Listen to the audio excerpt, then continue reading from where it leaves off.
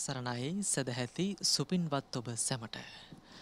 සදහැවත්නි පින්සාර හදවත් දම්සාර බුදුවන පදයෙන් නිවාසනසාලන බෞද්ධයා රූපවාහිනී නාලිකාවේ මේ සෝදානම සෑම බ්‍රහස්පතින්දා දිනයකම සදැහැති ඔබ වෙනුවෙන් sannivedanaya කරන සසරින් නිවනට ධර්මදේශනා මාලාවේ අදට නියමිත දායකත්ව සද්ධර්මදේශනාව සමාරම්භ කරන්නට සුපුරුදු පරිදි දේශනාව පැවැත්වීම සඳහා මේ උතුම් දම්සවහ මණ්ඩපයට වැඩම කොට වැඩම කොට වදාළ කාපල ශ්‍රී සද්ධර්මාරාම මහා විහාරය මර්දන්කල්ල කරුණාගල චිත්ත විවේකාරාමයේ යන උභය විහාරාධිපති කම්මට්ටානාචාර්ය පූජනීය තපෝවනයේ අරියදජ ගෞරවනීය පින්වත් ස්වාමින් වහන්සේ අප හැම දෙනාම එක්ව සාදුනාද පවත්වමින් දම්සභා මණ්ඩපය වෙත පිළිගනිමු. සාදු සාදු සාදු සැදැහැවත්නි මේ උතුම් වූ සද්ධර්ම දේශනාව සඳහා අද දින දායකත්වය ගැන කටයුතු කරනවා බිංගිරිය පදිංචි ඒ.එම්. බන්දුල පත්මසිරි සහ චම්පා ජයවර්ධන ඇතුළු ඒ පවුලේ සුපින්වත් පිරිස විසින් සමන්ත චක්කමාලේසු අත්‍රා ගච්ඡන්තු දේවතා සද්ධම්මං මුනි රාජස්ස සුනන්තු සග්ග මොක්කදං ධම්මස්සවන කාලෝ අයං බදන්තා ධම්මස්සවන කාලෝ අයං බදන්තා ධම්මස්සවන කාලෝ අයං බදන්තා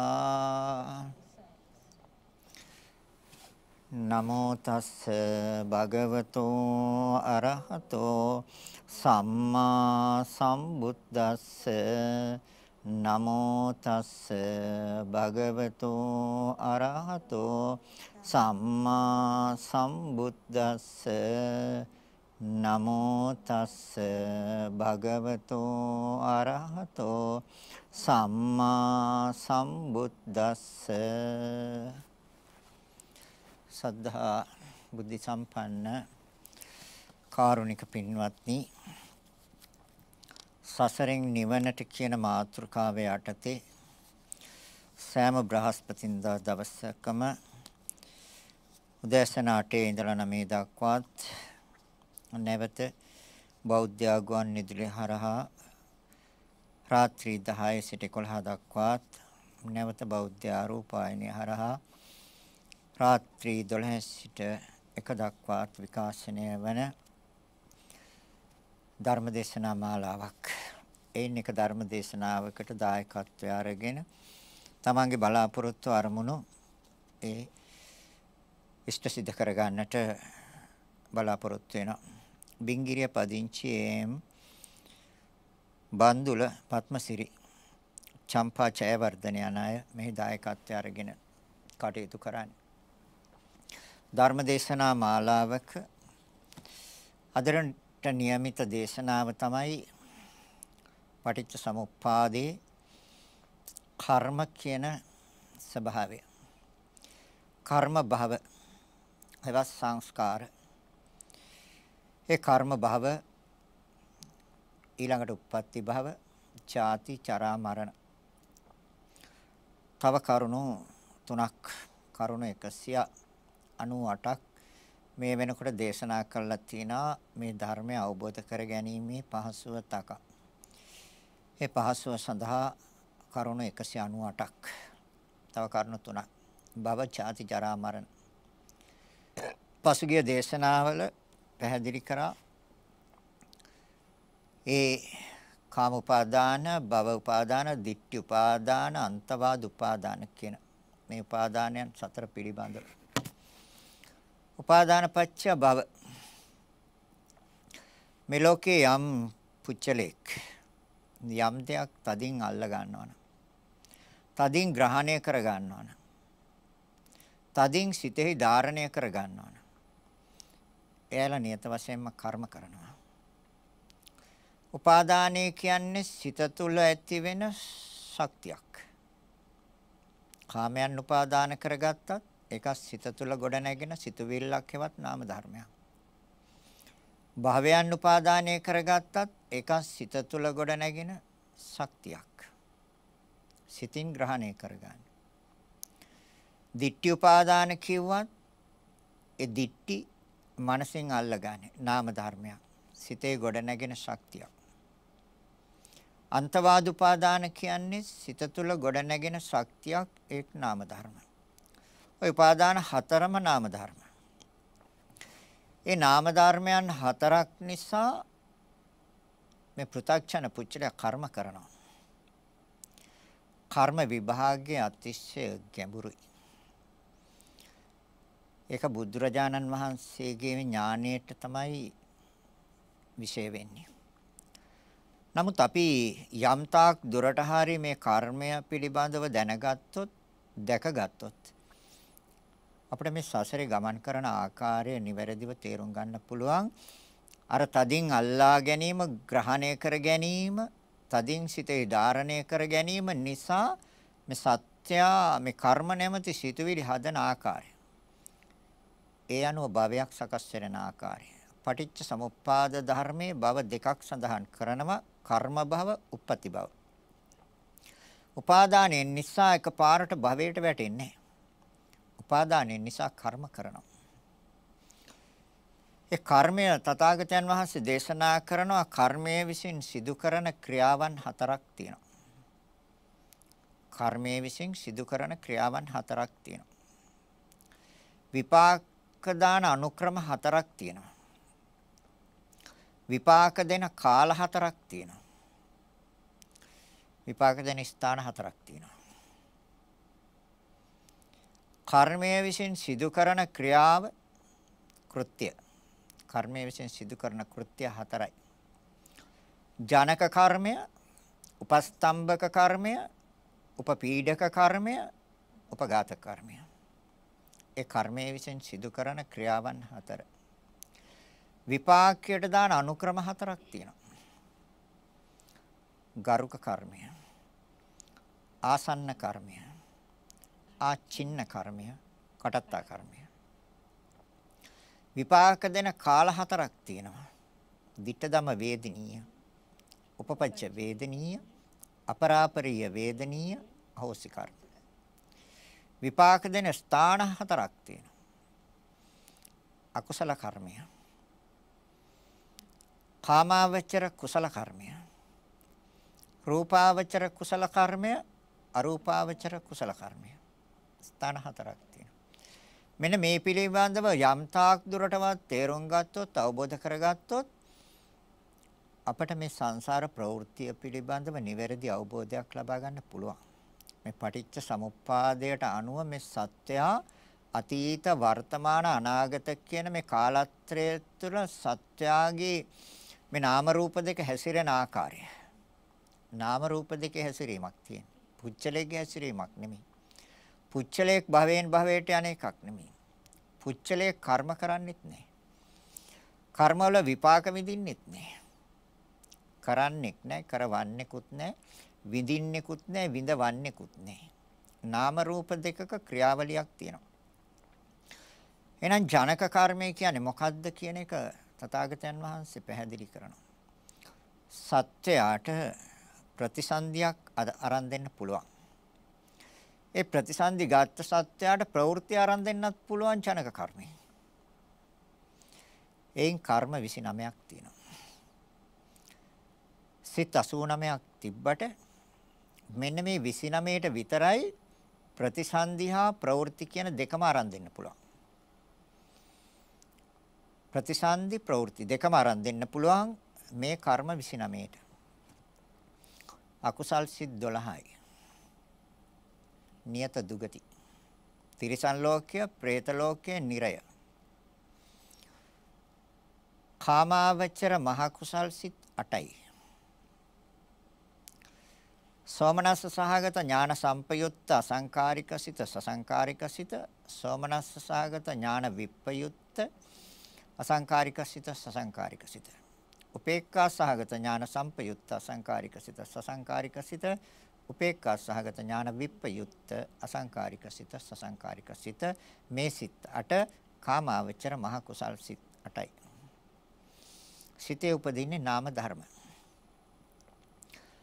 තොර අකුසල් සිත් 12යි ඒත් නාම ධර්ම සිත් තුළ උපදින්නේ 12යි 8යි 20යි.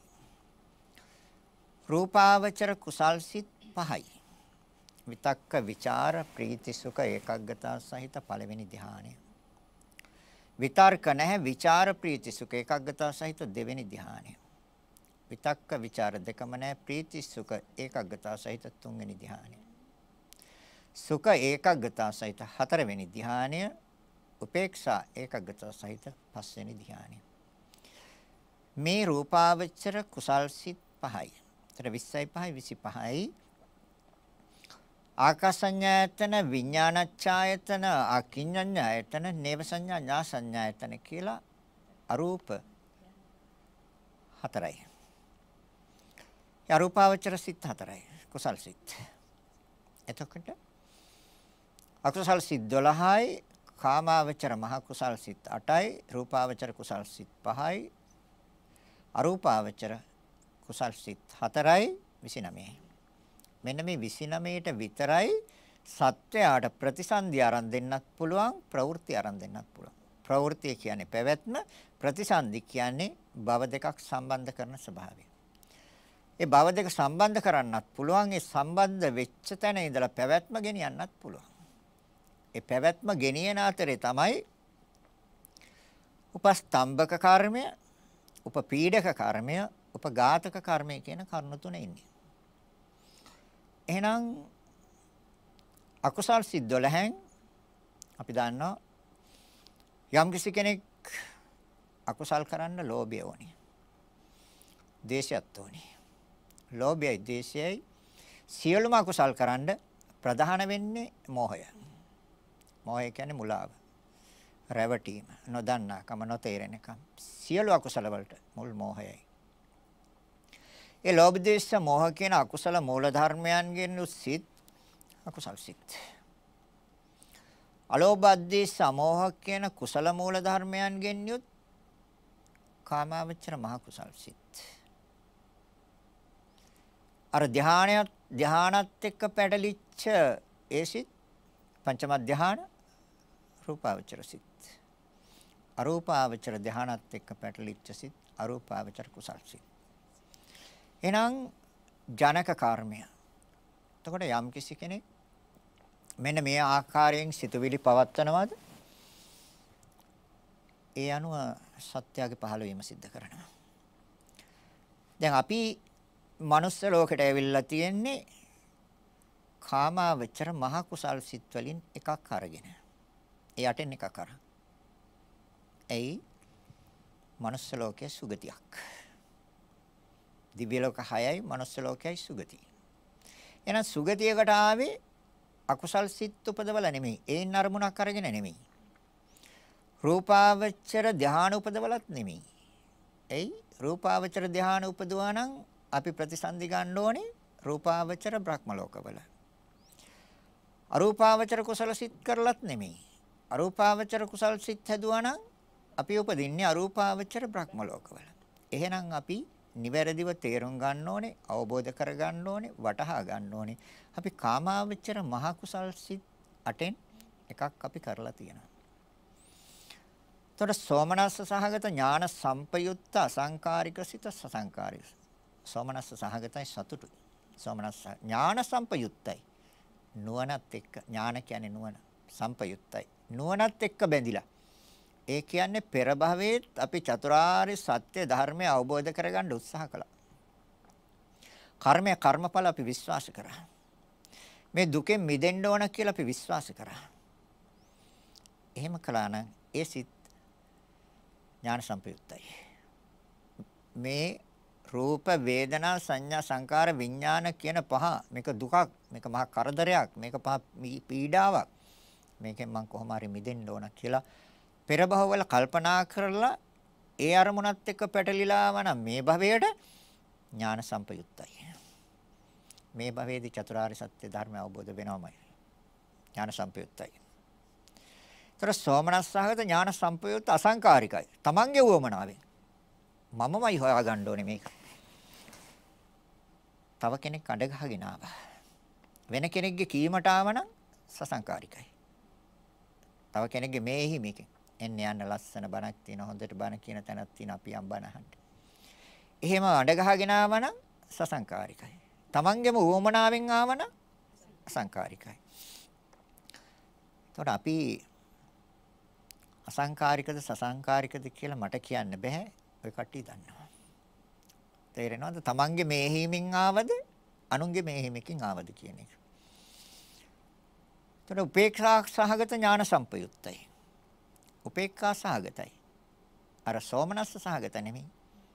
සෝමනස්ස සහගත ඥාන සම්පයුක්ත අසංකාරික තමන්ගේම වුමනාවෙන් ආවනම් අතිශය සිටු මෙදුරු රජමාලිකාවල් වල ඉපදිලා ඒ අයලට මේ ස්කන්ධ ධාතු ආයතන දේශනාව නැහෙනකොටම නුවණ මතුවෙනවා. හැබැයි ඒගොල්ලෝ ඉපදිලා ඉන්නේ සිටු මාලිකාවල් වල රජ මාලිකාවල් වල.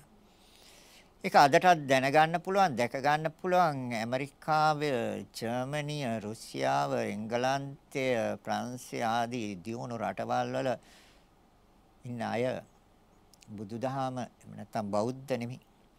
හැබැයි ඒගොල්ලන්ට මේ ධර්මය ඇහෙනකොට එයාලා කල්පනා කරනවා. එහෙම කල්පනා කරලා ලංකාවට ඇවිල්ලා එයත් පැවිදි වෙලා භාවනා කරන අය ඉන්න අපේ රටේ. ඇයි? කොහොමද ඒගොල්ලෝ ආවේම? සෝමනස්ස සහගතයි. හොඳට සැප වින්ද සතුට සහගත සිත් උප්පත්තියේ ඉඳලම හොඳට සැප වින්ද සෝමනස්ස සහගතයි. සතුටෙන් ජීවත් වෙන සෝමනස්ස සහගත. ඥාන සම්පයුත්තයි. අන්න නුවණ මතු වුණා.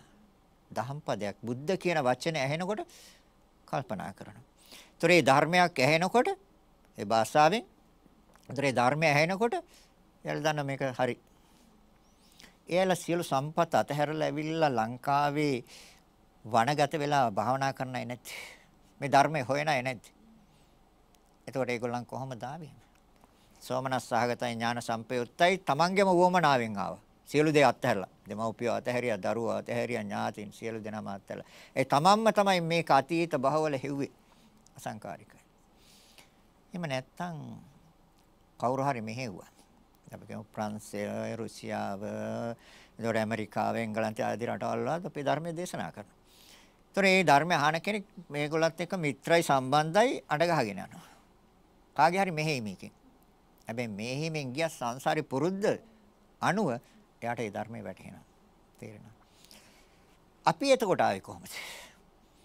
අපි එච්චර සිටුමැදුරු වල ඉපදුන්නේ මහා මන්දිරවල රජ මාලිගාවල් වල ඉපදුන්නේ අපි පුංචි කාලේ ඉඳලා අතිශය සතුටින් සොම්නසින්ම නෙමෙයි අපි ගත කළේ. වැඩි කාලයක් මදහස් සිතින් ගත කළා. උපේක්ඛා සහගතයි.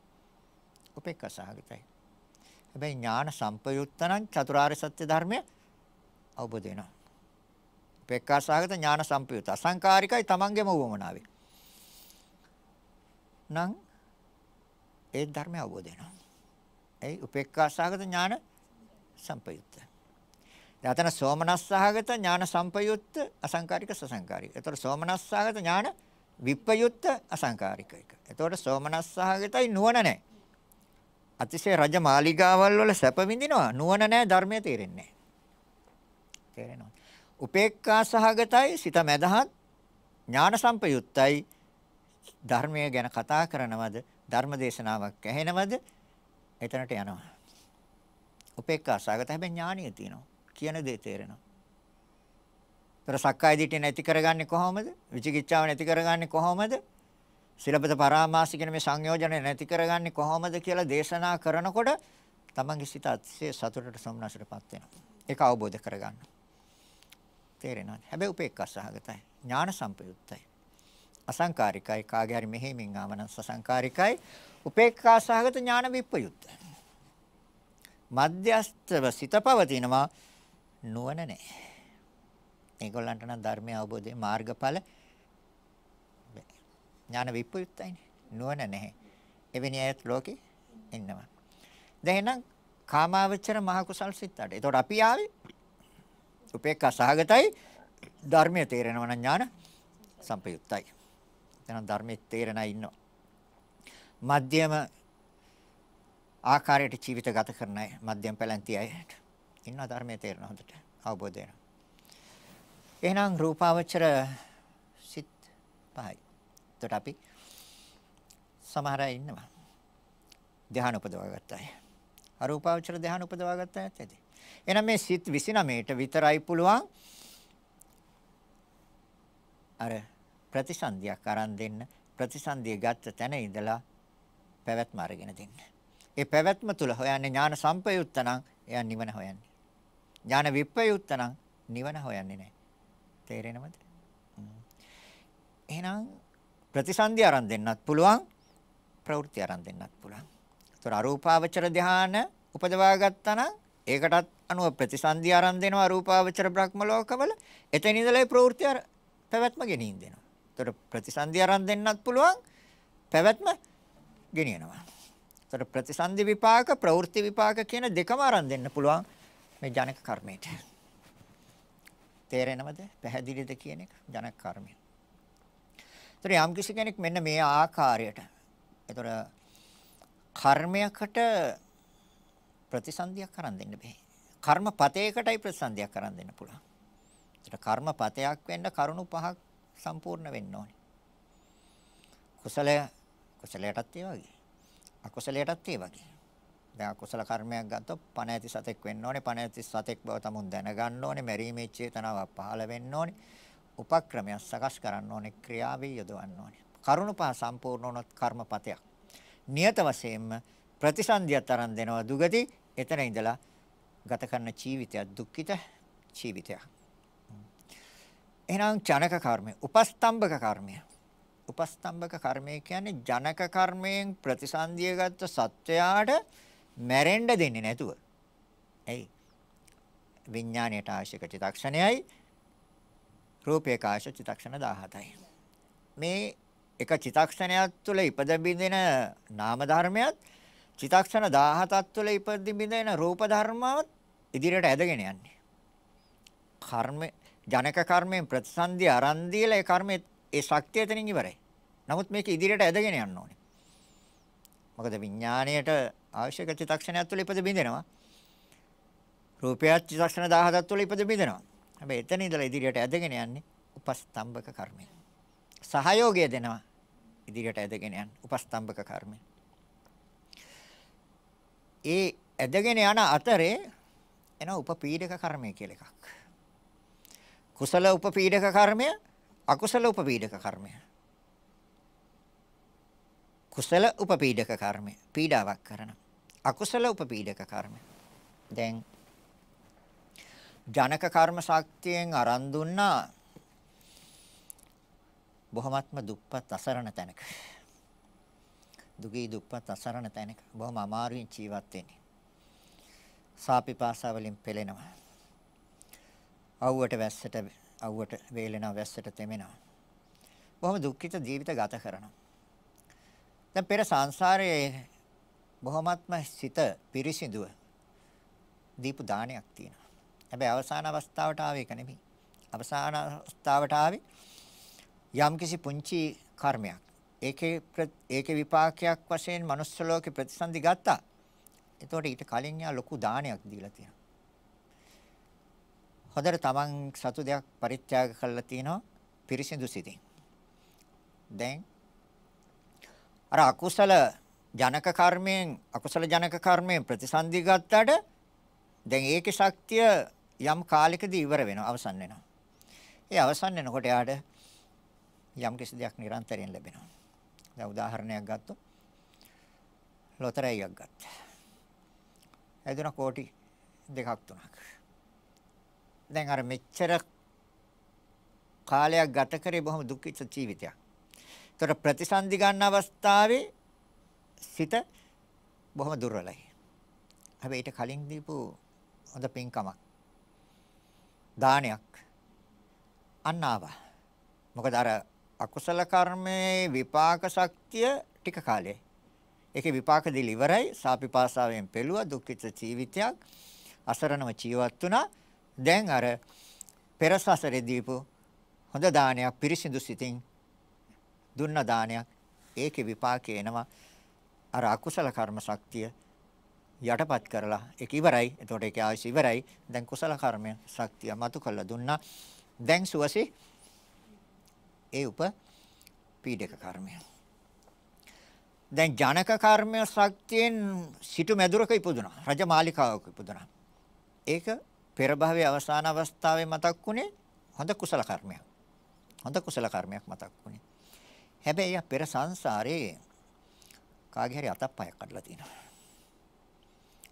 දැන් අර දානේ දීපු ඒ සිතුවිල්ල අනුව අවසාන අවස්ථාවේදී අර කුසල කර්මය මතු කළා උසස් තැනක ප්‍රතිසන්දි ආරම්භ දුන්නා ජනක කර්මයෙන්.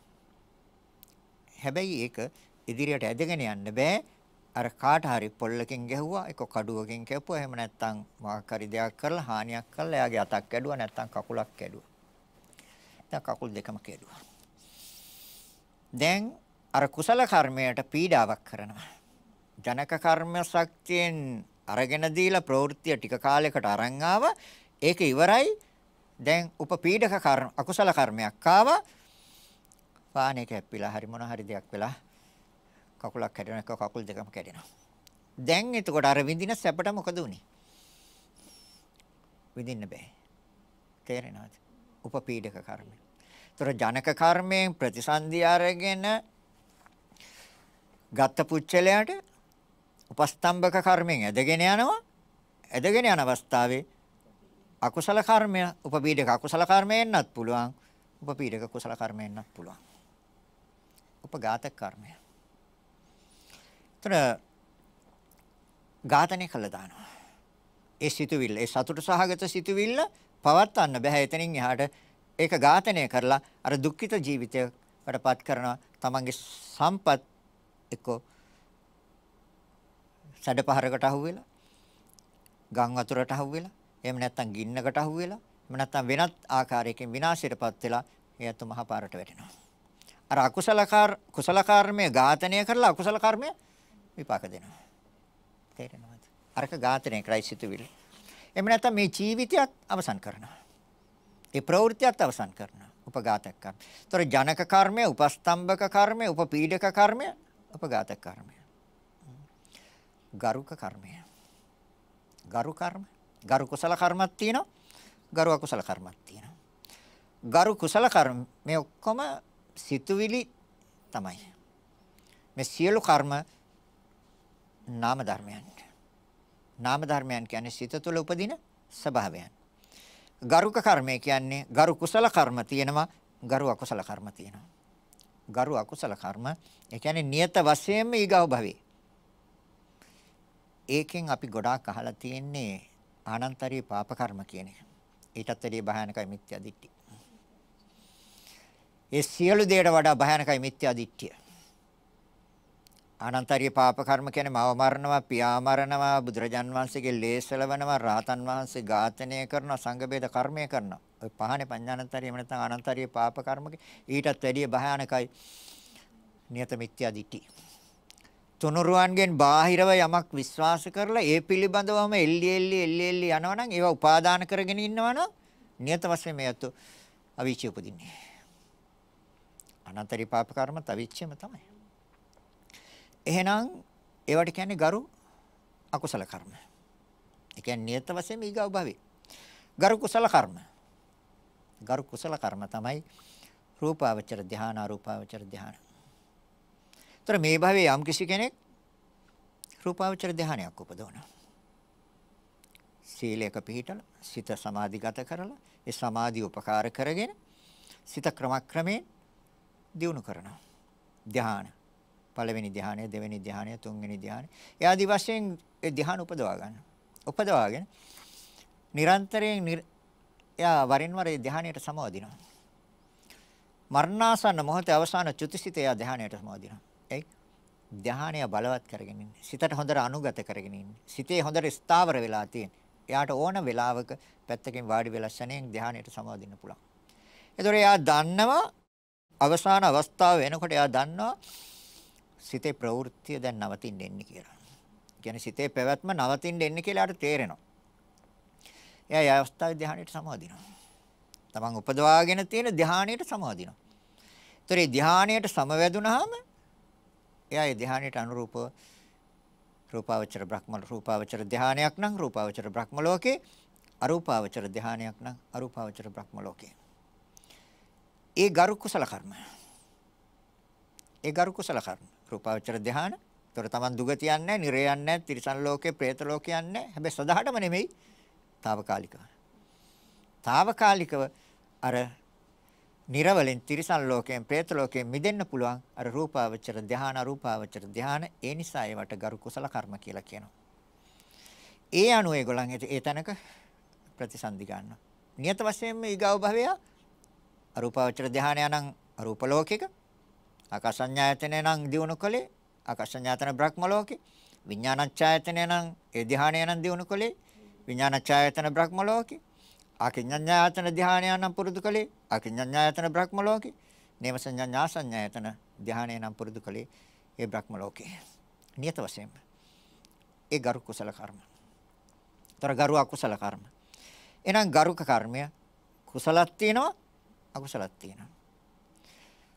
ගරුක කර්මය ආසන්න කර්මය. ගරු කර්මය ආසන්න කර්මය. ආසන්න කර්මය කියන්නේ මොකක්ද? මරණාසන්න මොහොත. ඒ කිට්ටුවදී. දැන් මැරෙන්න. දැන් අපිට කාටවත් මරණයට දිනයක් වෙලාවක් ස්ථානයක් ආකාරයක් නැහැ. දිනයක් ස්ථානයක් ආකාරයක් නැහැ. කොයි වෙලාවෙ හරි මැරෙනවා. ඒ මරණයට ආසන්න අවස්ථාවක කරගත්ත කර්මයක්. ඒක කුසල වෙන්නත් පුළුවන්. අකුසල වෙන්නත් පුළුවන්. එහෙනම් ඒ නිසා තමයි තථාගතයන් වහන්සේ දේශනා කරන්නේ නිරන්තරයෙන් මනස සිත තියන්න කුසලේ. ඒ මරණයට වෙලාවක් දිනයක් ස්ථානයක් ආකාරයක් නැහැ. ආසන්න කර්මයක්. ඒතකොට අපි දන්නවා වයෝ වෘද්ධ වෙලා, මහලු වෙලා, වයසට ගිය පුච්චලෝ ඇඳ උඩ හයියෙන් හුස්ම ගන්නවා නම් අපි කියන පණ අදිනවා කියලා. ඇත්ත ඒක පණ අදිනවා. හයියෙන් හුස්ම ගන්නකොට. මොකද දොස්තර මහත්තයා දැන් ස්පිරිතාලේ ගෙනහිල්ලා දොස් ස්පිරිතාලේ ඇඩ්මිට් කරලා දොස්තර මහත්තයලා බෙහෙත් දීලා දොස්තර මහත්තයා දන්නවා මෙයා තව දවසකට දෙකකට වැඩි ජීවත් වෙන්නේ නැහැ කියලා. දොස්තර මහත්තයලා දන්නවා. හැබැයි කියන්නේ කියනවා ලෙඩාව ටිකට් කපලා අරන් යන්න. ගිහිල්ලා ලෙඩාව ඉල්ලන දෙයක් මොන හරි තියෙනවා නම් ඉල්ලන දෙයක් දෙන්න යන්න. ඇයි? ડોක්ටර් දන්නවා තව දවසයි නැත්තම් දෙකයි කියලා. එතකොට ගෙදර ඉන්න අයට තේරෙන ඒ ස්වභාවය. ඊට පස්සේ ඇවිල්ලා ගෙදර අය කරන්න ඕන එක තමයි යට ආසන්න කර්මයක් හදන්න. පිරිත් ටිකක් කියන්නේ ඒකයි. එයාගේ අතින් දානයක් පූජා කරන්නේ ඒකයි. බණ ටිකක් අහන්න සලස්වන්නේ ඒකයි. එයාදී වශයෙන් එයාට ආසන්න කර්මයක් හදනවා. හැබැයි ඒක නොදන්න අය අකුසල කර්මත් හදනවා ආසන්න වශයෙන්.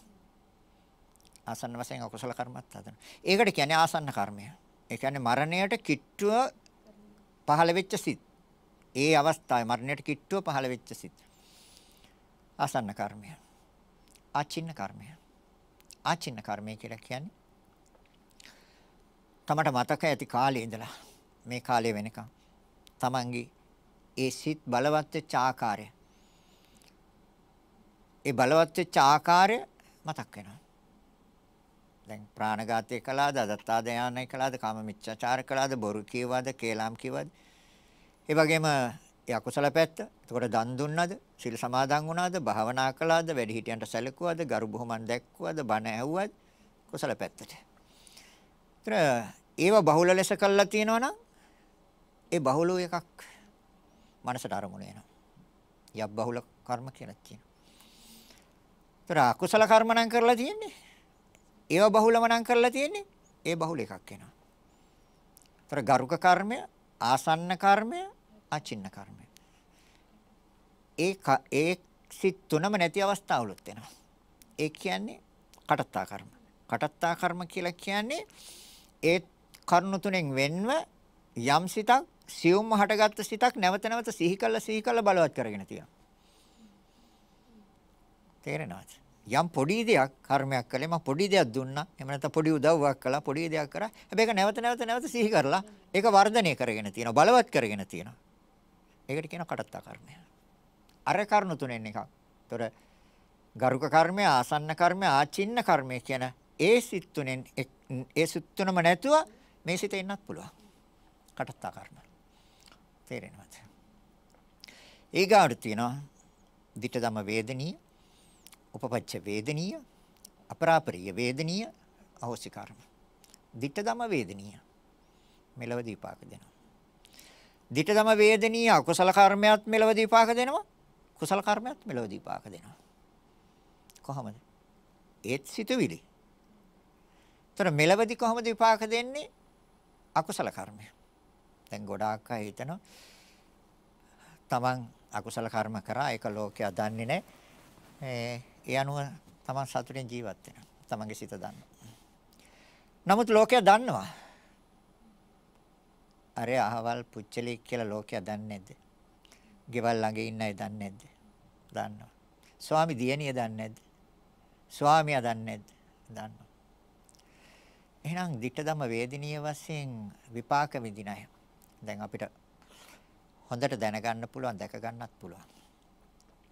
ප්‍රාණඝාත අකුසලයේ කරන අය පොලිසියෙන් අරන් යනවා.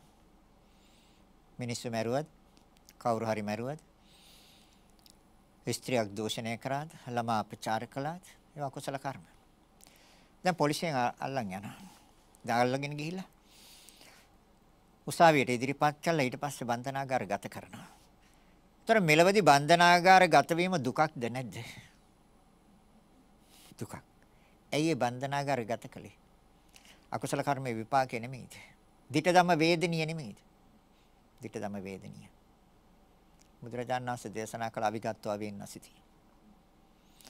ඒතර ඒ අකුසල කර්ම වල විපාක තව කෙනෙකුට වෙඩි තියලා මරුවා ඒ වෙඩි උණ්ඩෙම ආපහු එන්නේ නැද්ද? ඒ වෙඩි උණ්ඩේ නෙමෙයි. ඒ ආකාරයෙන්ම වෙඩි උණ්ඩයක් එයාට එන්නේ නැද්ද පස්සේ? දන්නේම නැහැ තමයි. එහෙම වෙලා නැද්ද? වෙනවා. ditta ධම්ම වේදනීයද? මෙලවදීම මෙලවදීම විඳින්න වෙනවා. ඒ අකුසල කර්ම. ඒතර බන්ධනාගාරගත කරලා ඊට පස්සේ සාය දාලා ඊට පස්සේ ජීවිතාන්තය දක්වා බන්ධනාගාරගත කරනවා. තම තම අවුරුදු 5කට අවුරුදු 10කට. ඒතර ditta ධම්ම වේදනීය. මෙලවදීම විඳින අකුසල කර්මයේ විපාක. ඒ විතරක් නෙමෙයි සමාජයේ පිරිහීමට ලක් වෙනවා, ගැරහීමට ලක් වෙනවා, නින්දාවට ලක් වෙනවා, අපහාසයට ලක් වෙනවා. සමාජය පිළිකුල් කරනවා. මේ පුච්චල මෙවැනි පුච්චලේ. මේව ආශ්‍රිත සුදුසු නැහැ. එහෙම කරන්නේ නැද්ද? කරනවා. ඒ ditta ධම්ම වේදනීය නෙමෙයිද? අකුසල කර්මේ. හ්ම්. ඒතර කුසල කර්මයේ තියෙන ditta ධම්ම වේදනීය. ඒ කොහොමද? සිල්වත් පුච්චල සමාජය පිළිගන්න. සමාජයේ ගෞරවයට ලක් වෙනවා. සමාජයේ කීර්ති ප්‍රශංසා ලැබෙනවා. ඉහළින් ජීවත් වෙන අනිත් අයට වඩා සිල්වත් පුච්චලයා සමාජය ආශ්‍රය කරන්න කැමතියි. බුද්ධිමත් අය ඥානවන්ත අය ආශ්‍රය කරන සිල්වත් අය ආශ්‍රය කරන්න කැමතියි. එහෙනම් ඒ කුසල කර්මයේ ditta ධම්ම වේදනීය නෙමෙයි. Ditta ධම්ම වේදනීය මෙලවදී කුසල කර්මයේ විපාක විඳිනවා. ତොර දැන් උදාහරණයක් ගත්තොත් ස්වාමින් වහන්සේලා. දැන් ස්වාමින් වහන්සේලා රැකියාවක් කරන්නේ නැති වුණාට ස්වාමින් වහන්සේලාට වස්ත්‍රය ලැබෙනවා ආහාර පාන ටික ලැබෙනවා ඉන්න තැන හදලා දීලා තියෙනවා අසනීපයක් වුණොත් බෙහෙත් ඒ තරම් දෙනවා. දැන් එතකොට මේ කුසල ditta ධම්ම වේදනීය නෙමෙයිද? බණකට වඩිනකොට දානයකට වඩිනකොට දෙපා සෝදලා ඇතුළට ගන්න. සුදු සුදු වස්ත්‍ර එළලේ ආසන මත වඩා හිඳවයි දැන් ඒ කුසල කර්ම ditta ධම්ම වේදනීය නෙමෙයිද ප්‍රණීත ආහාර පාන වලින් සංග්‍රහ කරන්නේ නැද්ද? ඇයි ඒ කුසල කර්මේ ditta ධම්ම වේදනීය. ඒතර අකුසල කර්මයක් තියෙනවා ditta ධම්ම වේදනීය. කුසල කර්මයක් තියෙනවා දැනගන්න පුළුවන්, පේන්න තියෙනවා. ඒතර ditta ධම්ම වේදනීය කියන්නේ මෙලොවදීම විපාක දෙන එක. ඒතර අපි දන්නවා දැන් නිරෝධ සමාපත්තියට සමවැදුණා නම් දින 7ක් ඉන්න පුළුවන්. 7 වෙනි දවස් නැගිටිනවා. 6 වෙනි දවස් නැගිටිනවා. එතකොට නිරෝධ සමාපත්තියට සමවැදුණු අනාගාමි පුච්චලයන්ට රාතන් වහන්සේලාට විතරයි ඒ කට්ටියට ඒ ඒ ස්වාමින් වහන්සේ නමකට එදා දානයක් පූජා කරගන්න පුළුවන් නම් මොකද්ද බුදුරජාණන් වහන්සේ දේශනා කළේ එදාම ලැබෙනවා දානිසංස එදාම ලැබෙනවා එහෙම නැත්නම් සතියක් ඇතුළත එහෙම නැත්නම් ඒ ජීවිතේ ළඟමදීම ලැබෙනවා ලැබිච්ච අය නැද්ද හ්ම් ඇයි ඒ එහෙනම් එතකොට දැන් කුසල කර්ම වල විපාක ditta ධම්ම වේදනීය වශයෙන් ලැබෙනවා. උපපච්ච වේදනීය ඊගාව භවයේ ලැබෙනවා. උපපච්ච වේදනීය. ඊගාව භවයේ ලැබෙන එකක් තියෙනවා කුසල කර්මයක් තියෙනවා කුසල කර්මයක් තියෙනවා. ඊගාව භවයේ අකුසල කර්ම වල නිරය. ඒ අර අනන්තරී පාප කර්ම හා නියත මිත්‍යා දිට්ඨි ඒ උපපච්ච වේදනීය ඊගාව භවයෙන් නියත වශයෙන්ම දුගති. තර සුගති උපපජ්ජ වේදනීය අර රූපාවචර ධානහා අරූපාවචර ධාන.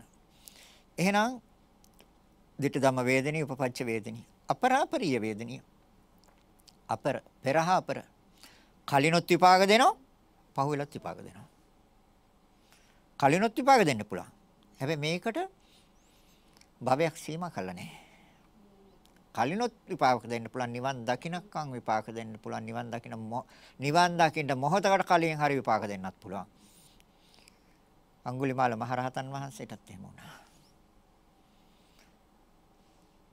එතකොට අඟුලිමාල මහරහතන් වහන්සේ කියන්නේ දෙපාරක් ඉපදිච්ච කෙනෙක්. මව් කුසෙන් එකපාරක් බිහුණා සම්බුද්ධ ශාසනයෙන් තව පාරක් බිහුණා. එතකොට අඟුලිමාල මහරහතන් වහන්සේ පැවිදි වෙලා පාරි වඩිනකොට මිනිස්සු පැනලා දිව්වා. ඔය එන්නේ මිනිමරුවෙක් කියලා පැනලා දිව්වා. ඒත් බය වුණා. ඔක නැති කරන්න ඕනකම තිබ්බ බුදුරජාණන් වහන්සේට. ඒතර බුදුරජාණන් වහන්සේ අඟුලිමාලට අර අඟුලිමාල පිරිත කියලා දුන්නේ අවස්ථාවේ. අර ගැබිනි මාතාවට සුවපත් කරන්න. ඒ ඒ පිරිතේ මොකද්ද තියෙන්නේ? මම මේ සම්බුද්ධ ශාසනයට ඇතුල් වෙච්ච දවසේ ඉඳලා මම කිසිම සත්‍යයේ ජීවිතය අත්තර කළේ නැහැ. ඒක සත්‍යයක්. ඒ සත්‍යයේ බලෙන් මව සුවපත් වේවා කිව්වා. එතකොට දැන් බලන්න. පෙර අපර. ତොර රහත් වෙලා ඉන්නේ. තොර ළමයි ගහනවා සෙල්ලම් කරනවා. කජු ගස් වලට, අඹ ගස් වලට, පළතුරු ගස් වලට එක එක දේවල් වලට ගල් පොළ වලින් ගහනවා. ඒ වගේ ඔක්කොම වදින්නේ අඟුලිමාලට. ඉතින් අඟුලිමාල ඇවිල්ලා බුදුරජාණන් වහන්සේට කිව්වා ස්වාමීනි භාග්‍යවතුන් වහන්සේ මේ බලන්න මගේ ශරීරය හැමදාම මෙහෙමයි. මේ ලේ පෙරෙනවා සිවුරු ඉරිලා පාත්‍රේ කුඩු වෙලා මේ ළමයි ඒ කජු ගස් වලට අඹ ගස් වලට ගහන ඒ පළතුරු ගස් වලට ගහන ගල් පොළ ඔක්කොම ඇවිල්ලා මට වදින්නේ. ඉතින් බුදුරජාණන් වහන්සේ මොකද්ද කිව්වේ? බුදුරජාණන් වහන්සේ කිව්වා කල්ප දහස් ගණනක් නිරේ විඳින්න තිබ්බ දුක් කොහොම ගෙවෙන එක හොඳයි හෙටත් පිණ්ඩපාත යන්න කිව්වා. ඇයි බුදුරජාන් වහන්සේට කියන්න තිබුණා මෙහෙට පැත්තකට වෙලා ඉන්න අනිත් ස්වාමීන් වහන්සේලා පින්ඩපාත යනවා. එයාලගෙන් දානි ටිකක් වළඳලා මෙහෙට වෙලා ඉන්න කියලා. කර්මය ගෙවන්න තියෙනවා. අපරාපරිය. මොග්ගල්ලාන හාමුදුරන්ටත් ඒකයි. මව මෙරුවා, පියා මෙරුවා. අවීචිය කල්පයක් පැසිලා දැන් 이르දි ප්‍රාතිහාරය ඇතින් අග්‍රයි. තුන් පාරක් 이르දියෙන් ගියා. යතුරු හිලෙනුත් ගියා. අවසානයේ බැලුවා. අදත් වට කරලා ගල්ලෙන අදත් වට කරලා. බැලුවා. අතීතයට සිත යවලා. කර්මයක් විපාක දෙන්න තියෙනවා ගැලවෙන්න බෑ. බුදුරජාන් වහන්සේ දන්නේ නැද්ද? දන්නවා. මගේ අගසව් අද මේ විදිහට තලනවා ඇටකටු පොඩි වෙන්න තලනවා කියලා බුදුරජාන් වහන්සේ දන්නවා. භික්ෂුන් වහන්සේලා එදා බුදුරජාණන් වහන්සේට දෝෂාරෝපණය කළ පෘථග්ජන භික්ෂුන් වහන්සේලා. වහන්සේ හරි අසාධාරණයක් කළේ අඟුලි මේ මේ මොග්ගල්ලාන මහරහතන් වහන්සේට. වහන්සේ දන්නවා. වහන්සේ සියල්ල දන්න සියල්ල දකින වහන්සේ මේ මොග්ගල්ලාන මහරහතන් වහන්සේ අද මේ විදිහට අටකටු පොඩි වෙනකන් ගහන බව වහන්සේ දන්නේ නැද්ද? වහන්සේ මහා අසාධාරණයක් කළා. බුදුරජාණන් වහන්සේ කිව්වා මම කිසිම අසාධාරණයක් කළේ නැහැ මම යාට සාධාරණයක් කළා තියෙනවා. ඒ මොකද්ද සාධාරණ? ඔය අවසාන මරණය ආයියාගේ මරණයක් නැහැ. ආයි පොළොව වලින් තල්ලා ආයි මරන්නේ නැහැ. මං යා සංසාරයෙන් ඈතර කරලා තින්නේ. අපි ඒ විදිහට පොළු වලින් මොනතරම් ඇටකටු පොඩි කරගෙන නැද්ද? ආ. ඒ සංසාරේ ස්වභාවය. එහෙනම් අපරාපරිය වේදනිය. අහෝසි කර්ම.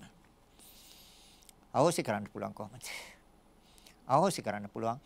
චුල්ල සෝතාපන්න වුණොත් භව හතයි එතනින් එහාට විපාක දීමක් නැහැ එතනින් ඉවරයි. සක්‍රුදාගාමි වුණොත් එකපාරක් භවයට එනවා. අනාගාමි වුණොත් සුද්ධාවස පහේ අරිහත්ත්වයට ගියොත් සියලුම කර්ම හොසි සදහටම හොසි. අහෝසි කර්ම. තේරෙනවද? කුසල කර්මය යටපත් අකුසල කර්මය යටපත් කරන්න පුළුවන් කුසල කර්මය. වෙන කිසිම දෙයකින් අකුසල කර්මය යටපත් කරන්න බෑ. අකුසලයේ විපාක අපි හිතනවා හඳහනට පුළුවන් කියලා. හඳහනට යටපත් කරන්න බෑ අකුසල කර්මයේ විපාක. එදැන් එහෙනම් බුදුරජාණන් වහන්සේ එදා කියනවා මේකෙන් යටපත් කරන්න පුළුවන් කියලා. යටපත් කරන්න. ග්‍රහයන්ට යටපත් කරන්නත් බෑ. හැබැයි අපි ඒව ඇල්ලිලා ඉන්නවා. ඒවා දිට්ටි. එහෙනම් දිටදම වේදනීය උපපච්ච වේදනීය අපරාපරිය වේදනීය හොසි කර්ම. හටගන්න ස්ථාන හතරක් තියෙනවා. අකුසල කර්මය, නිරය, තිරිසන් ලෝකය, പ്രേත ලෝකය. මහා නිරාටයි, තිරිසන් ලෝකයයි, പ്രേත ලෝකයයි. අකුසල කර්ම. කාමාවචර කුසල කර්මය. දිව්‍ය ලෝක 6යි, මනුස්ස ලෝකයයි. රූපාවචර කුසල කර්මය. රූපාවචර බ්‍රහ්ම ලෝක 16යි අසඤ්ඤ තලයත් එක්ක. ඒ රූපාවචර කුසල කර්මය.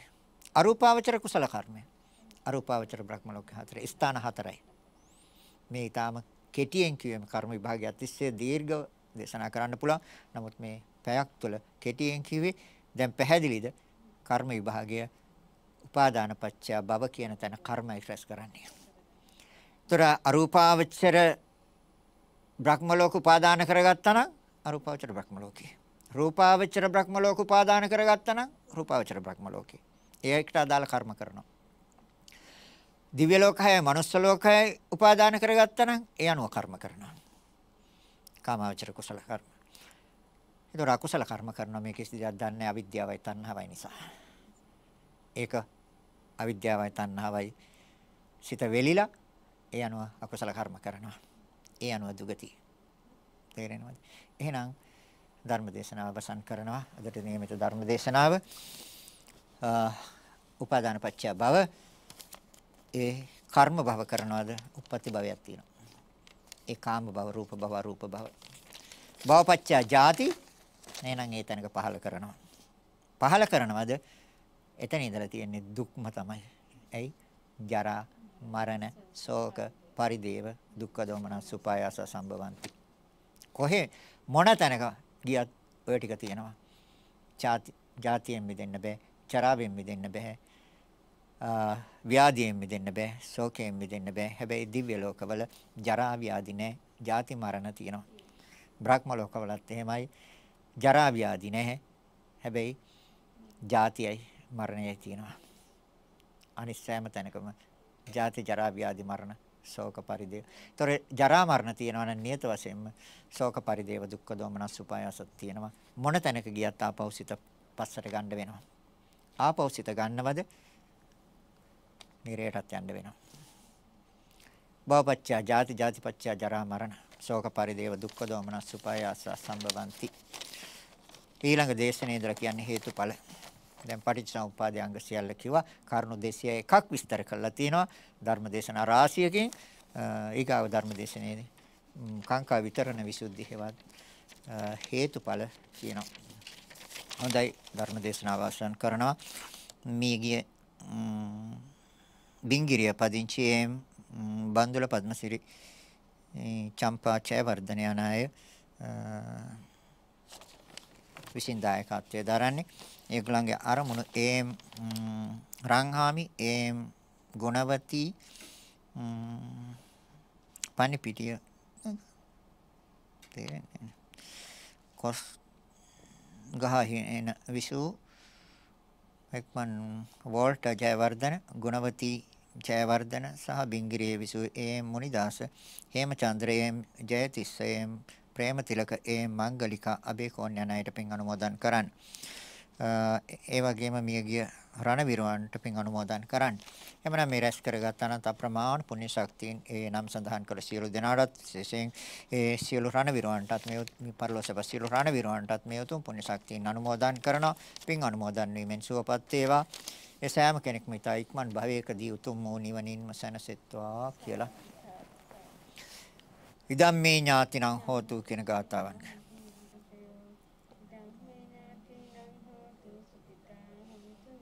දෙවියන්ටත් පින් දෙමු. ආකාසට්ටා චබුම්මට්ටා දේවානාගා මහිද්దికා තං අනුමෝදිත්වා චිරන් රක්කං තුලෝක සාසනං ආකාසට්ටා චබුම්මට්ටා දේවානාගා මහිද්దికා තං අනුමෝදිත්වා චිරන් රක්කං තු දේශනං ආකාසට්ටා චබුම්මට්ටා දේවානාගා මහිද්దికා පුඤ්ඤන්තං අනුමෝදිත්වා චිරන් රක්කන්තු මං පරන්ති. රැස් කරගත් අනන්ත අප්‍රමාණ පුණ්‍ය ශක්තිය ඉන්න බාප සෑම දිනාටම මේ සංසාර දුකෙන් නිදහස් වීම පිණිසම හේතු වාසනා වේවා කියලා හිතාගෙන සාදු සෑම දිනාටම ආශිර්වාද කරනවා. අභිවාදන සීලිස්ස නිච්ඡං වත්තාපචායිනෝ චත්තාරෝ ධම්මා වඩ්ඩಂತಿ. ආයුවන්නෝ සුඛං බලං ආයුරාෝග්‍ය සම්පatti සග්ග සම්පatti මේවච අතෝ නිබ්බාන සම්පatti ඉමිනාතේ සමිච්ඡතු.